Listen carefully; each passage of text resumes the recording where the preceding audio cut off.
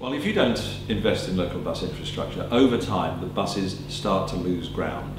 Uh, for one reason or another, uh, we see various schemes that are designed to benefit perhaps the urban realm, uh, wider footways, you know, the greening of uh, some of our town centres, uh, other changes uh, that are actually really very good in order to make the place a nicer place in which to live. But the consequence of that is that bit by bit, the benefits for bus passengers just get chipped away. So we really have to make sure we do that. Because if we don't, the bus passengers get a slightly less reliable service, they get a slightly longer journey, and in, in aggregate, that eventually gets to a tipping point where the passengers desert us with their feet and find another way of travelling.